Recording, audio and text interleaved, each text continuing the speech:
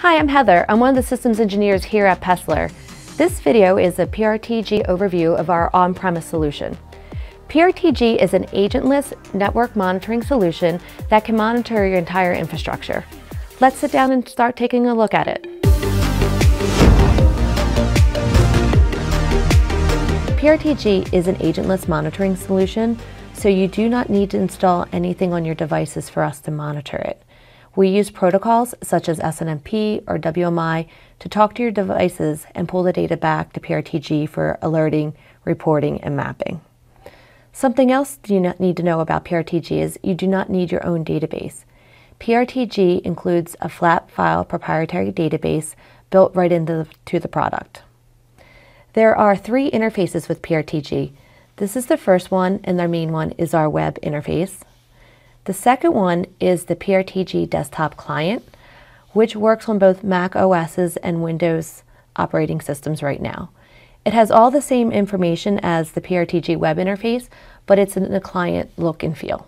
The third one is our mobile application for smartphones, for Apple devices, and Android devices, so you can take PRTG on the go with you. Um, I'm at trade shows all the time, and I have customers come into the booth showing me their mobile apps and everything in their PRTG environment. So our customers get quite proud of that. Today, now we're going to focus on taking a look at the web environment. Once we're in here, you see that there is a device tree here, and that is our main hierarchy we use in PRTG. And I'm going to just walk you through it. We always start at the root because the root is the top of it. Underneath that, you're going to see I have a local probe and some remote probes. PRTG supports distributed monitoring, which means that we can monitor at other locations. So here, the local probe, that is on your PRTG server that you host. The local probe, or the probe, is the piece of PRTG that does the polling that reaches out to your devices.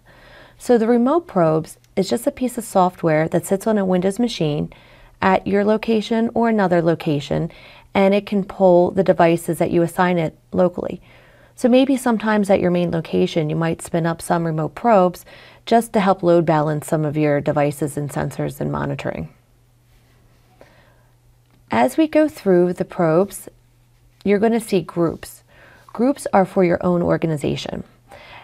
They really help you to figure out how you want to organize your devices in addition to that, you can also, if you want to get granular with your notifications, when we talk about that later, or get granular on how permissions so who can access what, you may use groups for that.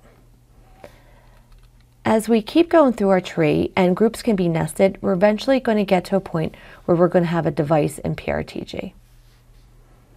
A device in PRTG is represented by an IP address or a DNS name. So when I go into the settings tab here, you'll see that in one second. And you just put the IP address and you have a friendly name for your device name. And then a device will get sensors. A sensor is one aspect of a device that you want to monitor. And for example, this one is simply called access point. It's an SNMP traffic sensor though. And you're going to see we have traffic in, traffic out, and traffic total. These are called sensor channels. Different sensors have different amounts of channels depending upon what the sensor is because they all monitor different things. PRTG has about 238 sensors out of the box and then we also have room for custom sensors. So here is the ping sensor for a switch.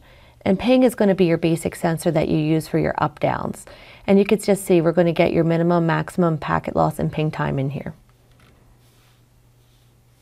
So that's the basics of the device tree, but there's a lot more to tell you about it.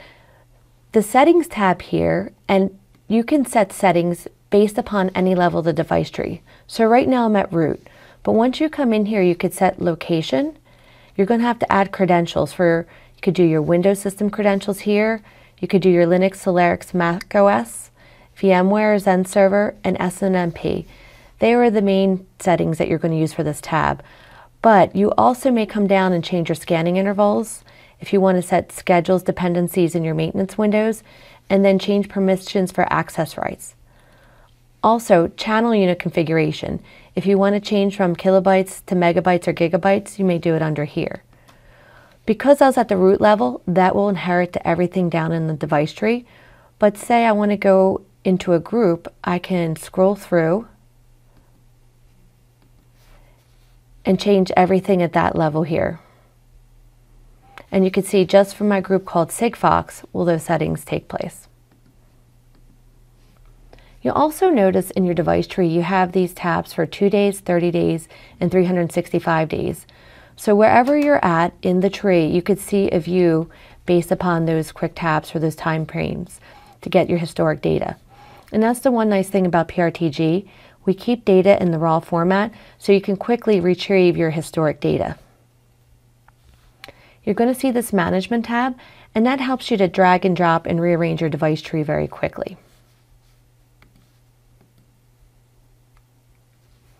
If you take a look at the top, the device button that you keep seeing me clicking on is the main one to always get you back to the device tree. But we always have this um, other one called libraries here.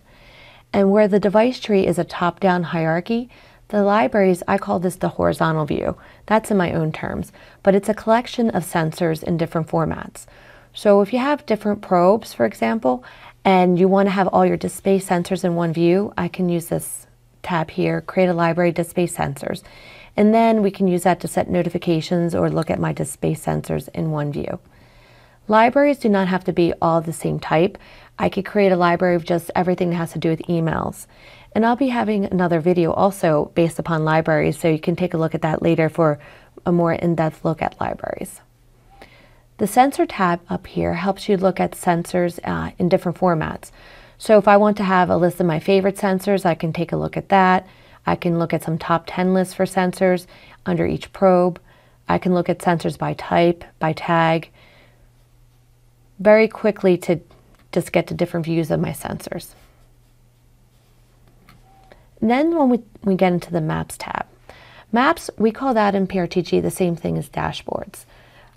So it's more of a GUI look at your various um, sensor data as it comes through. And I want to pull up two of my favorite maps. This one, the Dashboard 2018, um, and now these are all too, I need to say they're in-house maps. Maps are all created individually. There are no out-of-the-box maps, so you have to create them all. So when I say they're my favorites, they're my favorites in our environment. Maps include a map designer. So the way the map designer works is you'll see here on the left side is a device tree.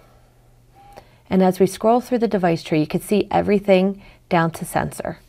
On the right side are properties, different, different graphical ways in which you can display the data. So you take what you want to see in the device tree how you want to see from the property list, you drag and drop, pull them all together, and you can make maps. And what are the types of things you can see in maps? Well, here we call this our sunburst view. So I have sunbursts of my probes.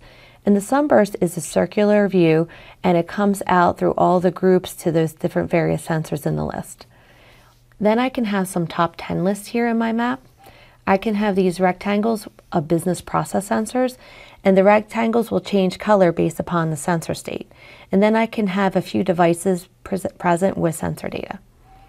That's one example of a map. Another example here, it's going to be the same map, but just in a slightly different form so you can see how you could see the same data in a different format. And here's a sunburst of a probe, but a sunburst of a group. I have my top 10 list as well. This time my business process sensors are in traffic lights and I list up sensors and then I have some geomaps here as well. Now, I used to work in infrastructure for a long time before I came to Paessler, and I wish I had this map back in the day. So imagine this is a Visio diagram of a server rack that we have. I made that my background image to my map. I put my sensor data on the right side, and here's just my name of my devices, my IP addresses. Maps can also go in a map rotation. So if you have a large monitor that you sit and look at all day, you could come here, click your maps, and put them on a rotation and decide when you want them, how often you want them to rotate. So that's one nice thing about maps. And here you can see our holiday map that just came up. And as we finish our overview of PRTG, I do want to mention we do have a reporting engine. So you can come in here and create various different reports um, on PRTG in your data if you would prefer them in more of a report format instead of the GUI format that Maps give you. And here's just an example of what a report can look like. Reports can be emailed to you in PDF, stored on your server as PDF, or you can run them and look at them in HTML format.